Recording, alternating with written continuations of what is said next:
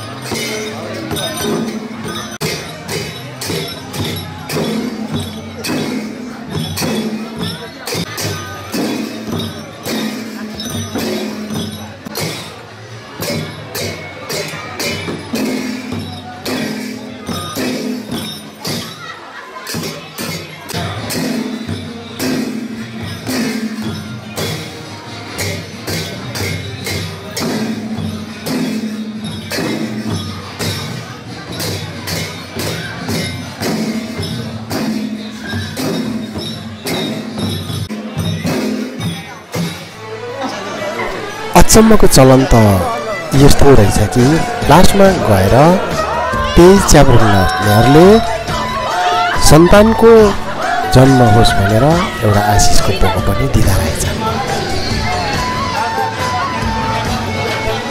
अन्तिममा उहाँहरू जानुभन्दा पहिला उहाँहरूले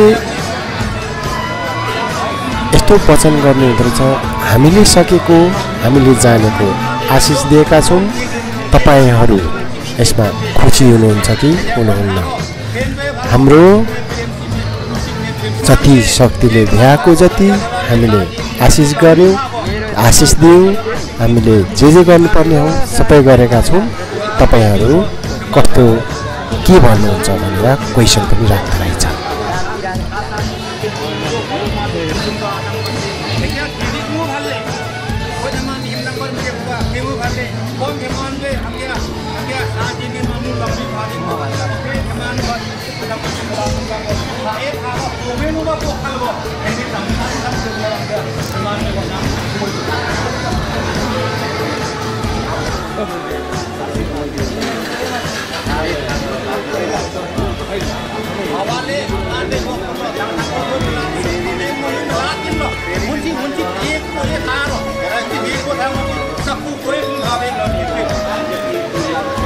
अनि अर्कोपट्टिबाट पनि तपाईँहरूले जे जे गर्नुभयो त्यतिमै हामी एकदमै खुसी छौँ र धेरै धेरै धन्यवाद भनेर भन्नुपर्ने चलन रहेछ।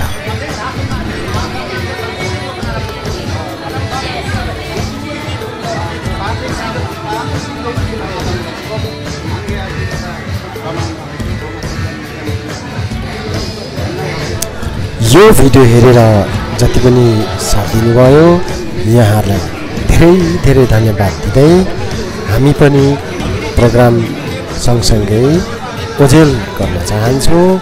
यहाँहरू सम्पूर्णको समय शुभ रहोस्। धन्यवाद।